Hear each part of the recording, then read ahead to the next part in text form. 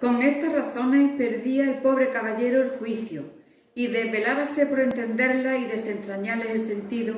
que no se lo sacara ni les entendiera el mismo Aristóteles, si resucitara para solo ello.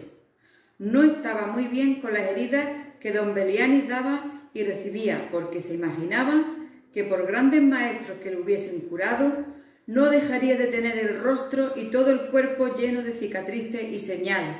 pero con todo alababa en su autor aquel acabar su libro con la promesa de aquella inacabable aventura y muchas veces le vino el deseo de tomar la pluma y darle el fin al pie de la letra, como allí se promete, y sin duda alguna lo hiciera y aún saliera con ello si otros mayores y continuos pensamientos no se lo estorbaran.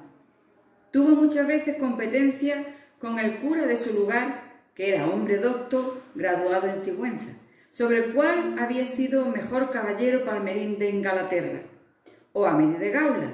más maese Nicolás, barbero del mismo pueblo. Decía que ninguno llegaba al caballero del Febo y que si alguno se le pedía comparar era don Galaor, hermano de Amadís de Gaula, porque tenía muy acomodada condición para todo, que no era caballero melindroso ni tan llorón como su hermano, y que en lo de la valentía no le iba en zaga.